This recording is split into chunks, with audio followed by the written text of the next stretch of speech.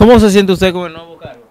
Me siento excelentemente bien porque tengo la oportunidad de poder servir a mi país, a mi patria, desde uno de los ámbitos más importantes, que es la educación.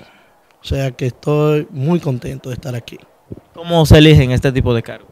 Bueno, está establecido en la ordenanza 24-2017 que establece que todos los que quieran ocupar un puesto de esta índole deben participar en un concurso, cuyo concurso exige un cierto perfil y nosotros fuimos sometidos a lo mismo y gracias Señor estamos aquí ahora ocupando este puesto. ¿Cuáles serían los planes inmediatos?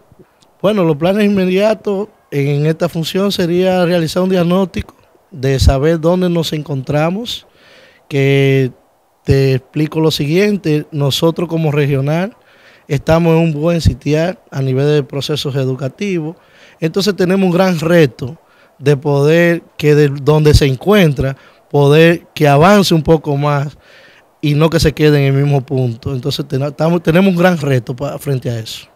Bueno, mucha gente dice que cuando una persona llega a un cargo viene con su librito. ¿Cuál sería el suyo? Bueno, nuestro librito se traduce y se resume a lo que es el servicio.